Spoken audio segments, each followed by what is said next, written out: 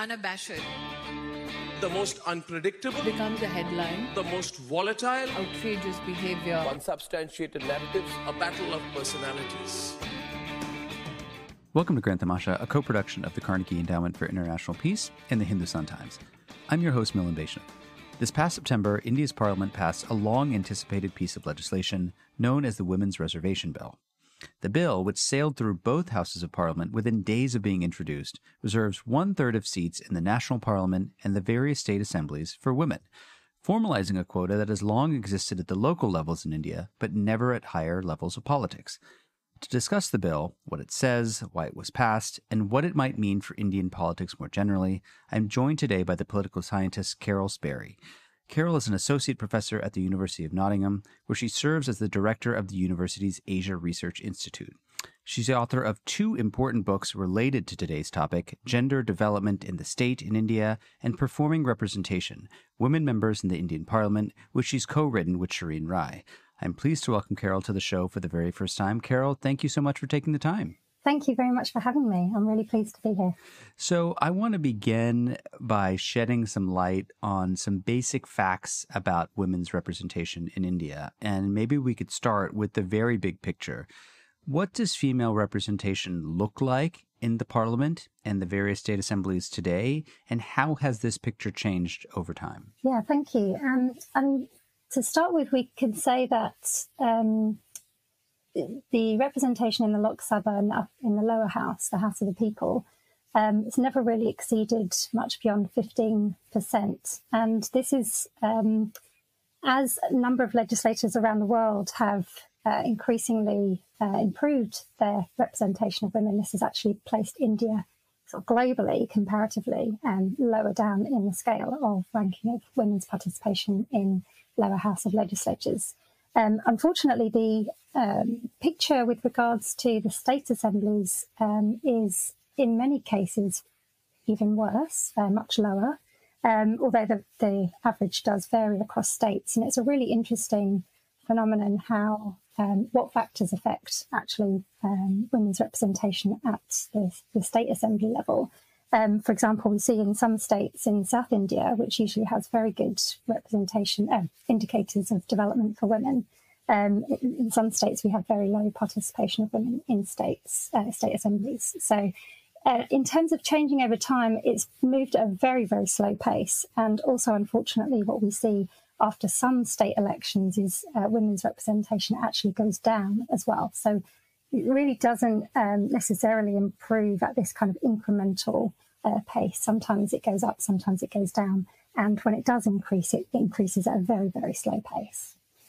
And I just want to point out, um, because uh, it's a bit at odds with it, with another statistic we, we hear a lot more about, which is that uh, in 2019, for the first time, we saw women's voter turnout um, reach par basically with uh, with male voter turnout, which is a big shift in India. You know, women have traditionally participated um, much less than men in state and national elections. There had been for decades at eight to ten percentage point discrepancy, um, and now they're almost on an equal footing. In fact, in, in many recent state assembly elections, we see women turning out in, in, in greater numbers uh, than men. But yet, when it comes to the candidate side, um, we're, not seeing that. Is that something, Carole, that um, that that surprises you?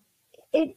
I wouldn't say it surprises me in the sense that we we know that parties have a gatekeeping role in terms of the selection of candidates. Um, it's unfortunate, and it, I mean it's a fantastic improvement in voter turnout among uh, women voters, and I think this is evidence that when you do engage uh, with women voters and when you do um, I know the Election Commission of India did a lot of work on voter education. They had a number of campaigns um, since 2000, especially to try to encourage women to vote more um, in elections. So I think that's one of the reasons why we see more women uh, voting and more um, women voters turning out during elections.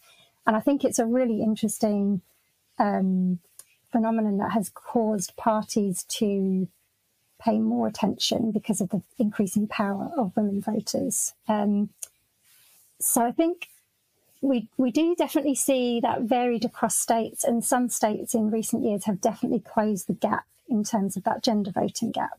So some states that were lagging behind in terms of women's turnout, um, such as Gujarat, for example, they uh, women used to turn out in much fewer numbers than men voters there, and I think that has improved over time. But then some states um, often had sort of fairly good women voter turnout. So I think it depends on to what extent women are politically mobilised and also encouraged to participate in elections as well. Uh, let me kind of step back uh, and refer back to something that I mentioned at the outset, which is that uh, there are uh, quotas for women at the local level. So you have in India the 73rd and the 74th Amendments of the Constitution enacted in the early 1990s uh, those provisions mandated the reservation of one third of seats for women in uh, uh, what are called panchayati raj institutions. In fact, some states have have have, have made the quota even larger than than one third.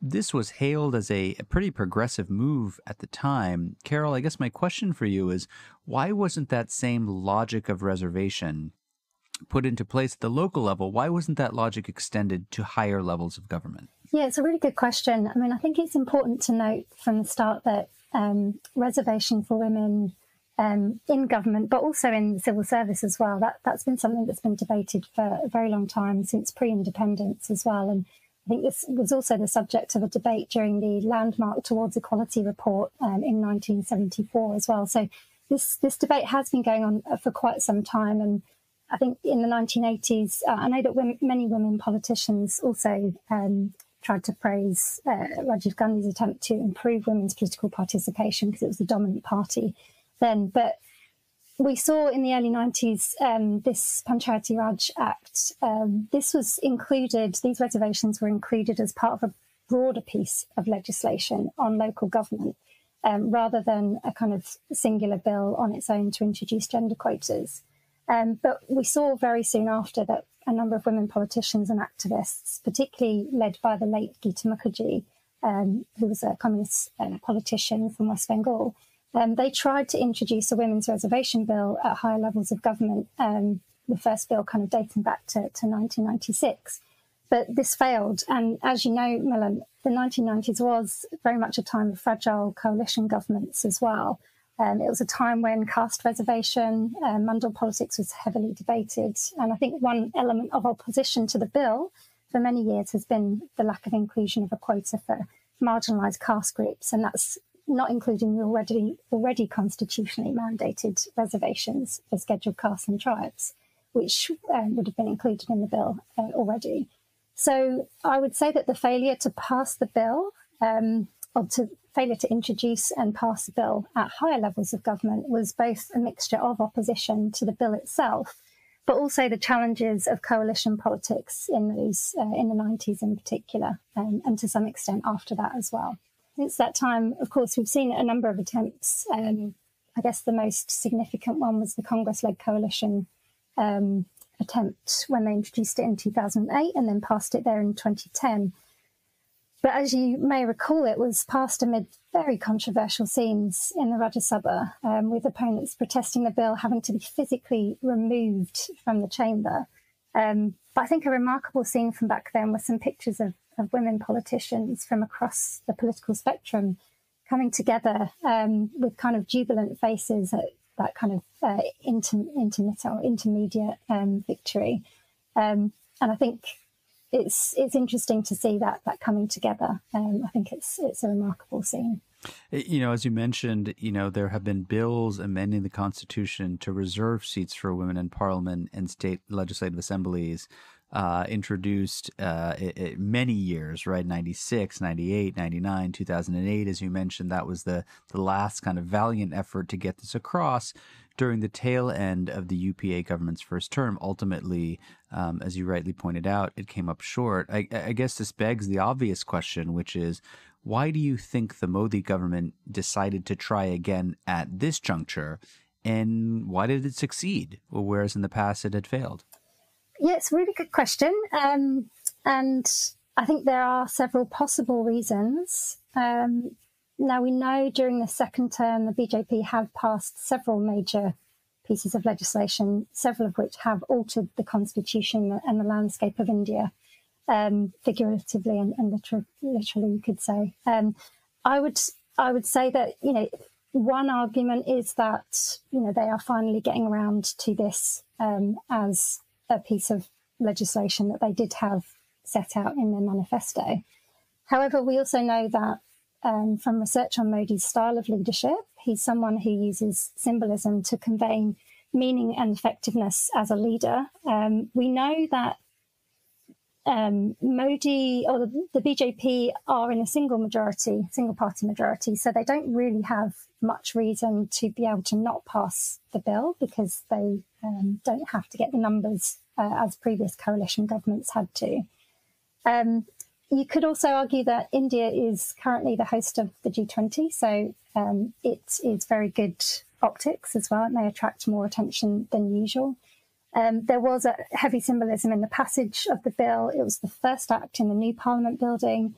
It was uh, part of a special session. And um, you could also argue that it would help India's performance in Sustainable Development Goals as well, because it was a few years back, Niti Aayog had a report a few years ago where um, SDG 5, which covers gender equality, including gender equality in decision making, um, among other indicators, this SDG 5 was actually the worst performing indicator of all SDGs. So improving India's scores in this indicator may potentially go some way to improving that overall performance. Um, but that said, I think it comes back to your question earlier, Milan, who, which was about um, women voters. Um, so we have um, the passage of a bill that will be potentially very significant to women voters. And we know that women have as you said, been increasingly turning out um, and increasing their power in Indian elections. So it's potentially a very good signal to women voters that the BJP have made um, a commitment to um, women's political participation. Um, but of course, um, as we know, it's not necessarily going to be implemented in time uh, for the election. Well, so so that's a that's a great segue to what I wanted to ask you about next, which is you know I think maybe we should stop and just go over some basic elements in the bill. Uh, as we said before, the bill reserves one third of seats in the Lok Sabha and the various state assemblies for women. This means that only women will be eligible to contest elections in these reserved constituencies. Obviously, the entire electorate is eligible to vote uh, and pick the woman candidate uh, that they choose in those constituencies uh, coming to the, the the delay, as it were, reservation will only commence after delimitation takes place, which is kind of in Indian parliament uh, parlance uh, the, the the word or the term for redistricting. That can only happen after a fresh census is, is conducted. Um, as many of our listeners will know, there was, was to be a census in 2021. That has not happened. We don't have any indication of when it will happen. Um, whenever the census happens and we get a delimitation, uh, and then by extension we will get reservation, reservations will be on the books for 15 years unless Parliament uh, expressly uh, authorizes their their extension. I guess the natural question to ask you, Carole, is what the link is between women's reservation and the redistricting or delimitation process, right? Because I think many critics have said this is just a delay tactic. Actually, there's there there's no reason why these two things have to be uh, connected. Is that how you see it as well? Yeah, I think so. I think so in the sense that it doesn't seem, um, yeah, arguably they could implement it and then they could change. Um, they could still do the redistricting so it doesn't really make sense as to why they need to delay it um, rather than just change sort of later on. Um, I mean, if you go right back to kind of early independence, we we had um, the very different kind of uh, seat arrangement with dual member constituencies um, that then changed in I think it was fifty seven. Um, so it's not that India hasn't, I mean, maybe that was very complex and maybe they don't want to have to repeat that exercise, but it doesn't seem to be a good reason as to why not kind of have the implementation happen in time for um, the next election. And then if there are changes to be made, just as in t- 2009, right? We had a delimitation exercise in 2009, the constituencies changed uh, in terms of the, the reservation for uh, scheduled castes and tribes.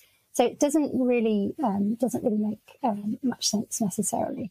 Um, there may there may be things that you know uh, I'm not aware of.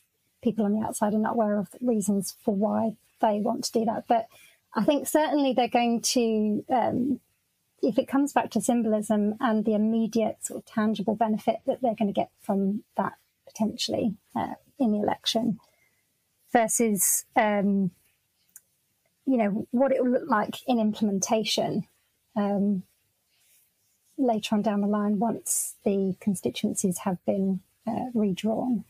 Um, I think that's something that is going to be very hard to to tell at this stage. Um, but for me, I think that that immediate symbolic benefit, um, they're going to get the benefit of that potentially. Yeah, I mean, it, it seems like uh, a, a, a way to get um, a lot of bang for the mm. symbolic passage. You don't uh, necessarily have to pull the band aid off right yeah. away, right? Because you're kind of kicking the can down the road. I mean, it could be five years, it could be 10 years. We don't mm. really know.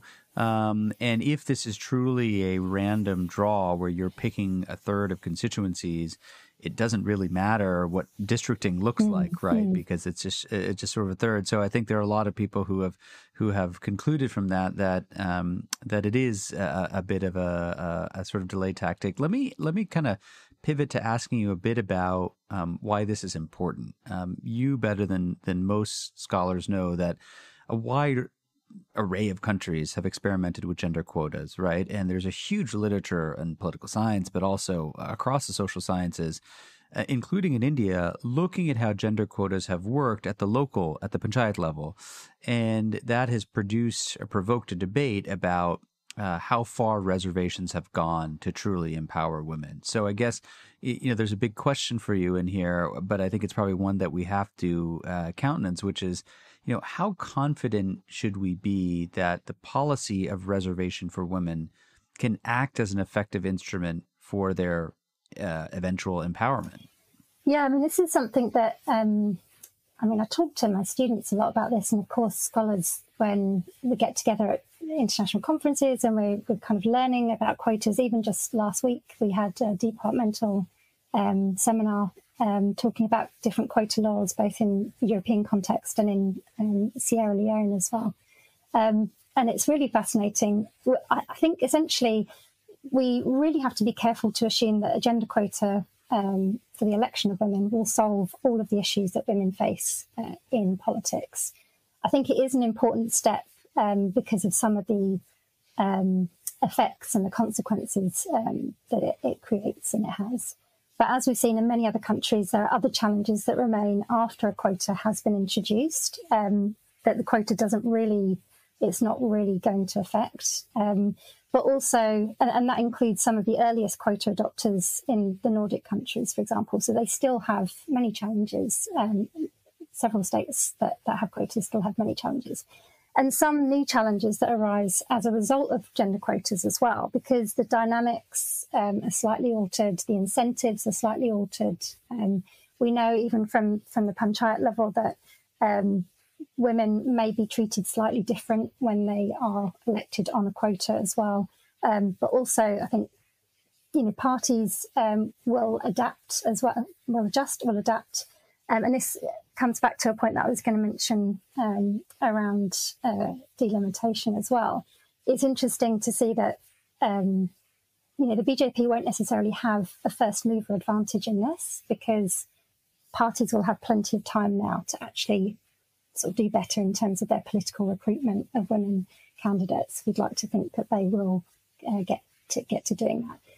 Um, so there are a number of kind of prior stages around the pipeline, women coming into politics, for parties to, to be able to have um, candidates to be able to nominate. Um, but there are also kind of subsequent political activities and sort of horizontal political activities that quotas, gender quotas, won't necessarily um, solve. And I think that's that's um, one important aspect. The other thing, I guess, to mention um, is that, well, essentially we need many tools and strategies depending on the issue, and we also need to be vigilant to new challenges arising, unintended consequences of quotas, for example. Um, the other thing to mention is that we've seen in some countries that um, some countries with authoritarian governments that gender quotas are very much in operation there as well. Um, but it doesn't necessarily equate to meaningful participation in politics. Um, so we have to be careful about assuming that a quota necessarily um, entails meaningful participation in the political process as well. Um, there are the ways in which uh, the research has shown that women's participation can be included, uh, can be can lead to um, women's empowerment, um, particularly coming out of the US, but other places as well, where it's shown all kinds of effects with regards to access to resources, access to political networks, access to the bureaucracy, um, being able to um, act as a conduit um, for representing uh, women's issues, for getting um, access to state resources uh, for women communities in particular. Um, but I think it's also intrinsically important um, to be able to have access to decision making, uh, particularly um, over issues that are obviously going to affect um, women in their community as well.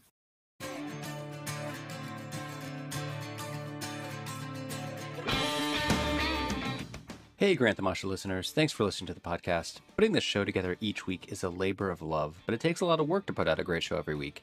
If you'd like to support the work we do at Grand Tamasha, please visit ceip.org slash donate. Don't forget to subscribe to us on Apple Podcasts, Google Podcasts, Spotify, or on your favorite podcasting platform so you'll be the first to know when a new episode rolls out.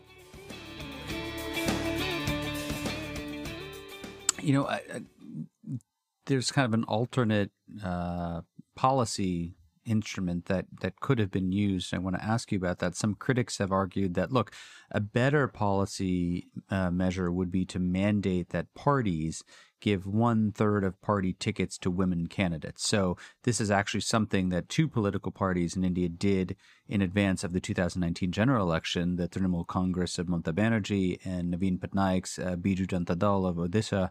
Um, in your opinion, is this a better way to go, or how do we think about you know uh, the the pros and cons of that approach, which is saying we are going to actually mandate that parties give a third of tickets rather than reserving a third of seats? Yeah, it's a really good question. I think um, it partly depends on the political system um, and also the penalties for non-compliance as well, and uh, essentially a party's sincere implementation of the quota.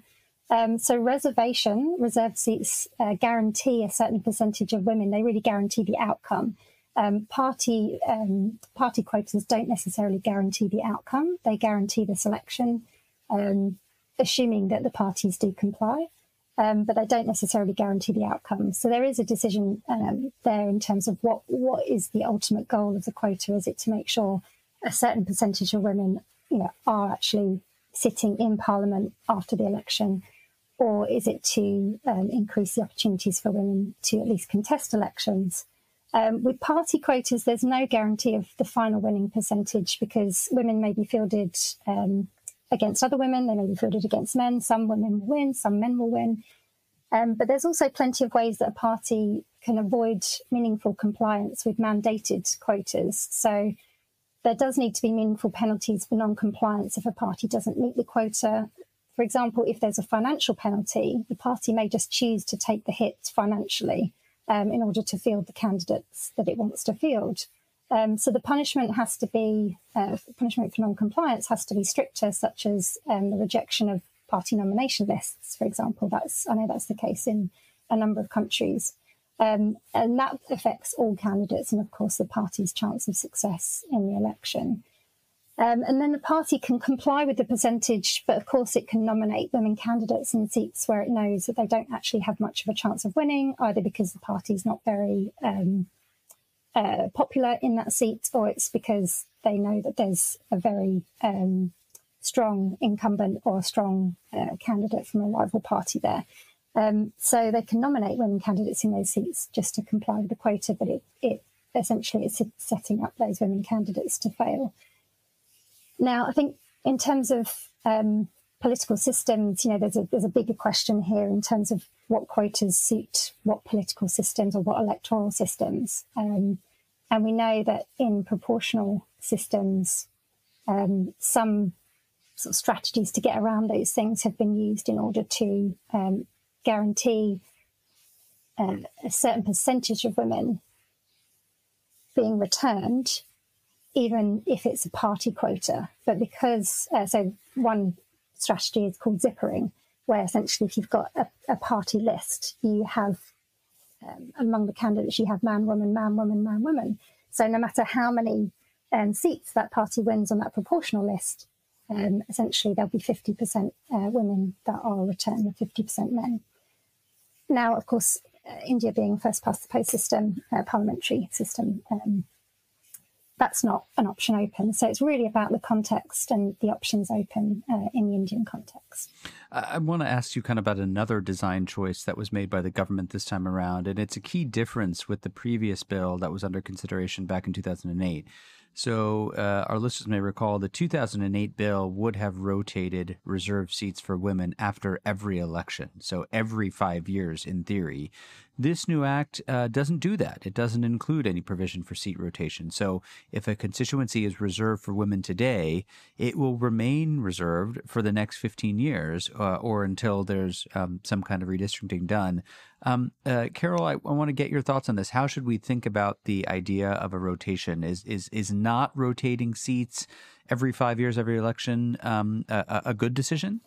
Uh, yeah, I think this is a really interesting change because I think previously with rotation, um, there was there was a concern that um, it would change the incentives for performance among MPs, right? Because if they know that essentially they've only got five years to make a difference, but even after five years, they're not necessarily going to be eligible for, for re-election to that constituency. So in some ways, it's an improvement to um, essentially ensure that there is still an incentive to uh, for that legislator to perform and to be re-elected, um, and that would have affected both men and women um, because men's uh, in terms of general candidates rather than reserve seats, they would have um, had to uh, perform. And if they knew that their seat was coming up for um, rotation in the next round, that would have disincentivized them to some extent.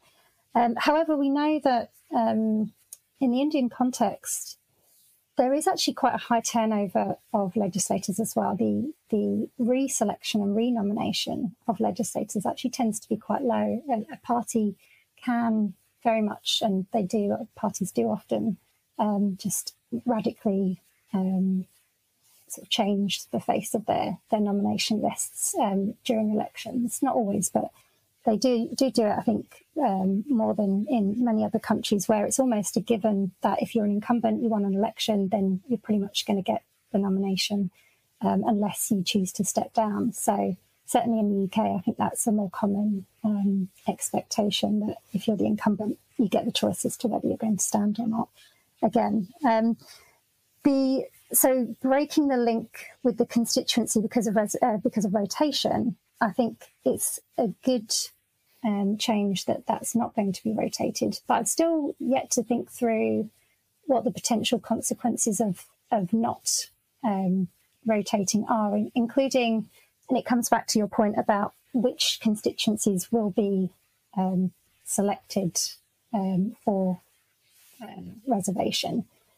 And it'll be interesting to see um, how that affects how constituencies are perceived as well in terms of um, the prioritisation of those issues and, and, whether there's any unintended consequences of, of not being rotated. Um, so yeah, it's it's one that I'm I'm thinking more about as well, thinking about that, that rotation consequence. Yeah, I mean, just to kind of put a, a, bit of a finer point on it for our listeners, I mean, imagine if you were in a constituency that was reserved for women and you were the uh, incumbent but you know that next cycle um, your constituency will no longer be reserved, um, and chances are, given the odds, that a male representative will replace you because that's been the dominant uh, history. Um, that may change your incentives in terms of how you govern, how you behave. Um, in the five years that you have. Similarly, if you were a representative in another constituency, say a male, and you know that uh, your constituency is soon to be reserved for a woman, it might induce a kind of short termism, right? So if you could think about someone who's who's thinking whether or not am I going to engage in rent seeking, um, if you know for sure you're going to not you're going to be out of a job, it may change your incentives versus if you know that you might be up for for reelection, right? So I think this is one of the things that's that that uh, is a potential uh, uh, n- negative externality of, of, rotation, as as as you mentioned. Um, I, I want to ask you a little bit if we can kind of shift from from from the kind of you know reservation debate to kind of what happens inside of parliament because this is really where you've done quite a lot of work right into developing insights into how women work in parliament and the challenges they face and and some opportunities that they also face right? And and one of the key themes when i go back and, and read some of your previous writings is that you know both formal and informal institutional norms in parliament affect how women members experience parliament and perform representation, quote unquote, which is a term that you use.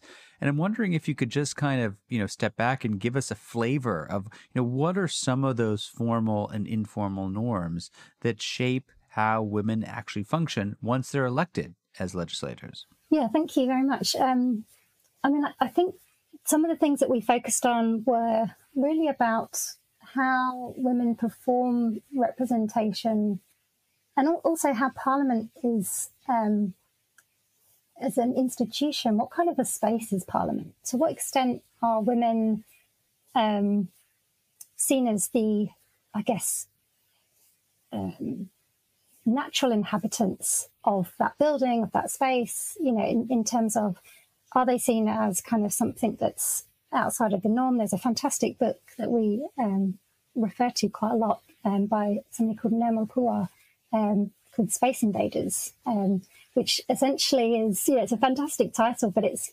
yeah, right, Space Invaders. And it's, it's really about trying to understand, um, and it's focused on sort of the UK uh, Parliament and civil service, but it's trying to understand within any given sort of political institution, who are the kind of um, typical inhabitants of that and who goes past unnoticed, you know, who goes past unnoticed because they're seen to be or assumed to be um, you know, this is their space. This is this is the natural inhabitant of this this institution. Um, and then who is seen as an interloper in that space. Um, so I think the, the, subtitle of the book is um, Race and Gendered Bodies Out of Place. Right? So there's a number of, um, uh, and it, it, it's a really interesting book because there's a number of kind of anecdotes and, and uh, references to uh, women, particularly black women in the UK, black women MPs, that you know they might get mistaken for somebody um, like a member of staff, um, cleaning staff, for example, using the wrong lift, for example, and it's really um, it just really goes to show how some uh, MPs, particularly um, white middle to upper class um, MPs, might pass really um, sort of their, their assumptions about their occupancy of that space being very kind of natural. So there's there's kind of informal norms like that, and just kind of actually sort of inhabiting space.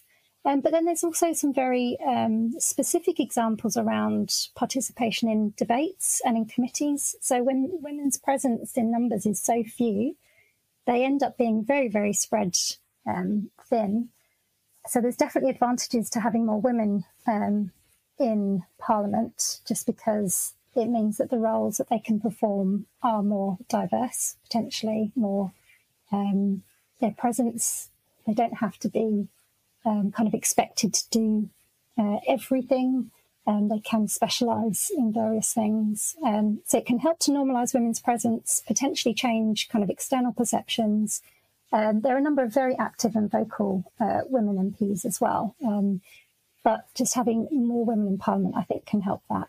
One thing that we looked at a little bit was um, the extent to which women are given opportunities to participate in debates and at what point they're given opportunities and in what um, in what way they're given opportunities. So we, we referred to this um, following uh, a scholar of um, Latin American gender politics. We referred to this as speaking rights. So how do women MPs get speaking rights in debates? We, we can see that a number of um, parliamentary party leaders are men.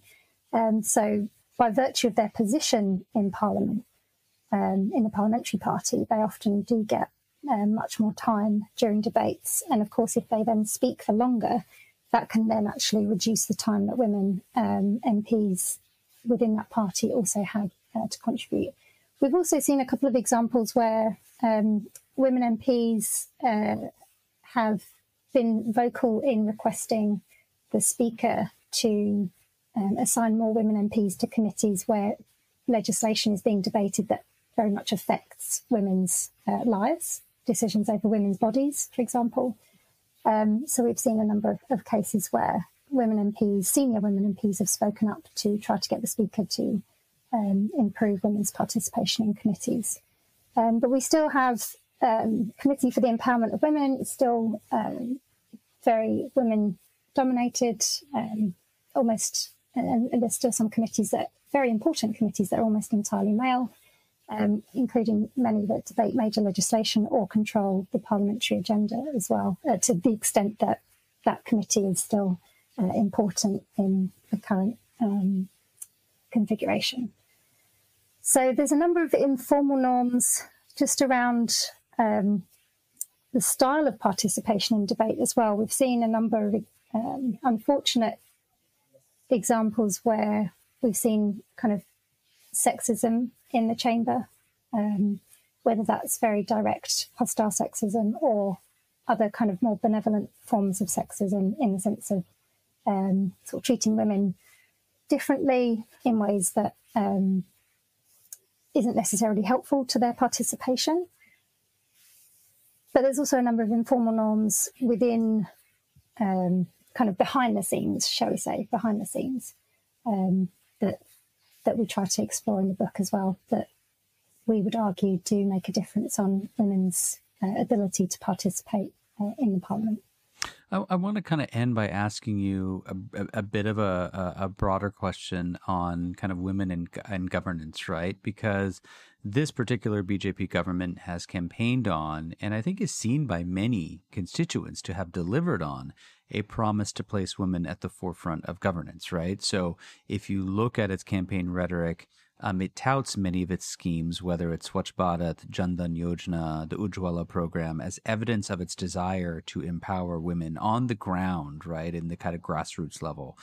But yet, some critics of this approach point out that, look, equating women with welfare schemes is in and of itself problematic because it's only reinforcing gender stereotypes about, say, the women's place in the household and so on and so forth. And it, it actually serves to kind of reify existing inequalities. I'm, I'm wondering, you know, how do you respond to this critique that that, that some have uh, have lodged? Yeah, it's a it's a really interesting point because I think, um, in essence, there are very practical issues that things like resources that women need access to to be able to do the things that they do in their everyday life. But then there are also strategic concerns that will actually change their position towards a, more equal position. So um, you know, this is a, a, fairly common distinction in the development studies literature between strat- practical and strategic gender interests, um, where certain schemes um, just make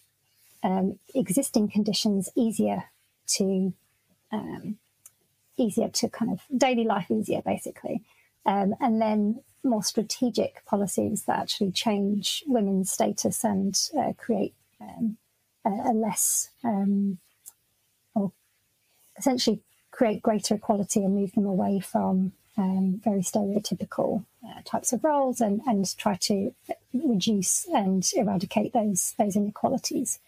Um, so I think it, it's a really difficult one.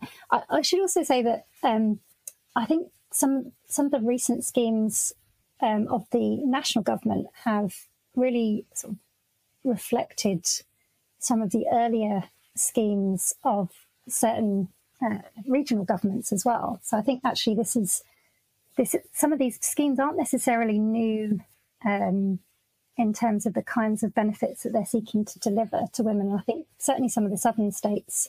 Um, I mean, I, I, guess one of my first entries into South, uh, into Indian politics was through South India and and Tamil Nadu politics. Um, and I think we saw a number of schemes there that, that often sought to both reduce the drudgery, everyday drudgery of, of women, um, but trying to move them towards um, a kind of uh, a different um, experience and, and trying to reduce those inequalities. My guest on the show this week is the political scientist Carole Spary. She's an associate professor at the University of Nottingham, where she serves as the director of that university's Asia Research Institute. She's the author of several books, including Performing Representation Women Members in the Indian Parliament. Carole, um, I know that you have been following this for a very long time. It must be kind of exciting uh, to see this pass, but of course now uh, raises a whole bunch of new questions about how it gets implemented, uh, what effects it's going to have on parties and politicians and campaigns. And so, uh, thank you for for sharing your thoughts with us, and we look forward to checking back in with you once this actually comes a reality.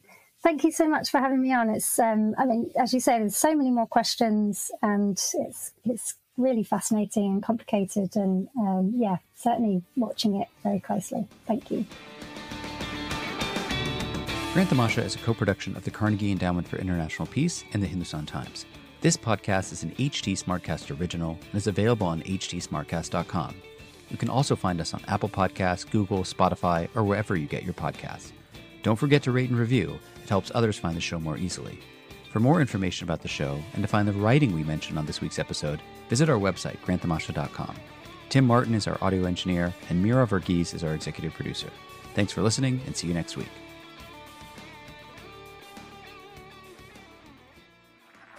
This was a Hindustan Times production brought to you by HT Smartcast. HT Smartcast.